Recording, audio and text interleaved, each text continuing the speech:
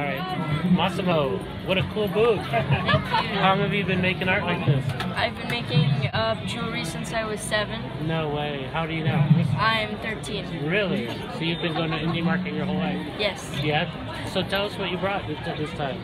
Okay, so this year for my second place, I won second place for my cuff this year. You got second place for that? Yes. Wow. And then I got first place and first place on these a few years ago.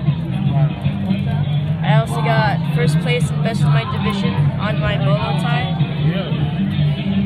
And this one is my IB native.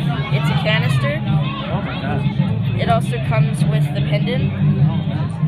And this is the first pour. It wasn't successful, but I wanted to keep the design. Oh, okay. I see. And how, how much time do you spend working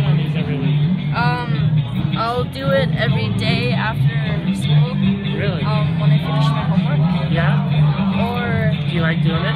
yeah. What do you like the best about it?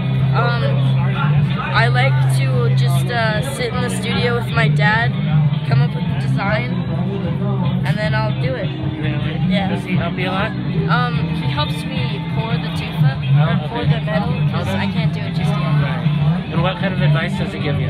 Um, What do you, what do you keep your, when you're working? What do you hear him saying in your head? Um, What does he say? Any, any words of advice?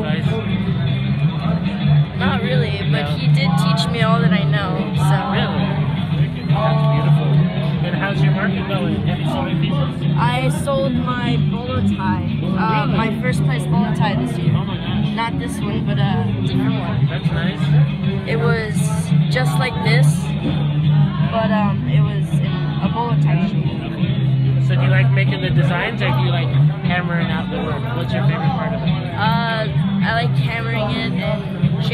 Oh, cool. and pouring. Awesome. Well, congrats on your prizes. That's awesome. Thank you. Hopefully you sell a bunch more. Okay, All right.